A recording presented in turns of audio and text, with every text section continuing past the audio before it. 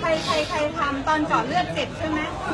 បាទសួស្តីអ្នកទាំងអស់គ្នាថ្ងៃនេះខ្ញុំចង់បង្ហាញអ្នកទាំងអស់គ្នាអំពីវីដេអូ funny មួយដែលពាក់ព័ន្ធនឹងបរិសម្នាក់ហើយគាត់ជាទាហានហើយខ្លាញ់មជុលហើយអ្នកទាំងអស់គ្នានឹងឃើញថាសកម្មភាពរបស់គាត់ធម្មតាគាត់ជាទាហានអញ្ចឹងតែងតែមានពេទ្យមានអីមក take care គាត់ដើម្បីកុំឲ្យគាត់នឹងមានជំងឺចាញ់ឬគ្រុនចាញ់ឬក៏ជំងឺ គ្រុនឈាមឬក៏ជំងឺអីផ្សេងផ្សេងដែលធ្វើឲ្យប៉ះពាល់ដល់សុខភាពរបស់គាត់ប៉ុន្តែយើងគួរឲ្យឲ្យអស់សំណើចចំពោះគាត់ដែរគាត់ជាទាហានគាត់មិនខ្លាចបញ្ហាប្រឈមនៃ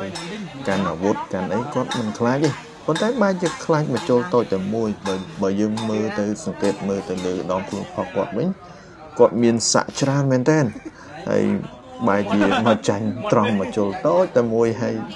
យំបែបនេះតែយើងគួរថាវាមើលទៅហាក់បីដូចថាมันស័កសមឲ្យគាត់ស្រក់ទឹកភ្នែកដូចថាពាក្យចាស់តែងនិយាយថាស៊ូស្រក់ឈាមមិនស្រក់ទឹកភ្នែកកាត់ជាកូនប្រុសស៊ូស្រក់ឈាមមិនស្រក់ទឹកភ្នែកតែបរិសម្នាក់នេះគាត់បានស្រក់ទឹកភ្នែកដោយសារពេទ្យចាក់ថ្នាំ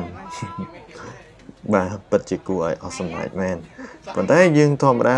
មនុស្សម្នាក់ម្នាក់តែងតែមានចំណុចខ្សោយហើយនិងចំណុចខ្លាំងរបស់យើង នេះគ្រាន់តែជាការខ្លាចរបស់គាត់ដូចថាមានអ្នកខ្លះខ្លាចមជុលប៉ុន្តែអ្នកខ្លះទៀតក៏អត់ខ្លាចមជុលដែរ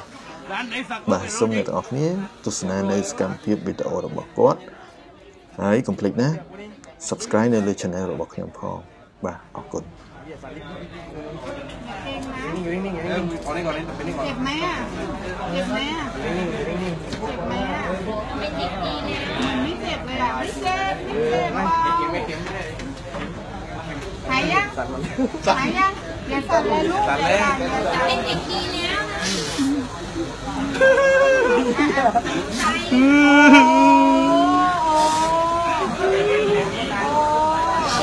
ร้านไหนสักก็ไม่รู้จริง เรียบร้อยเลยล้างกูมาแล้วหายยังเอาลุกขึ้นลุก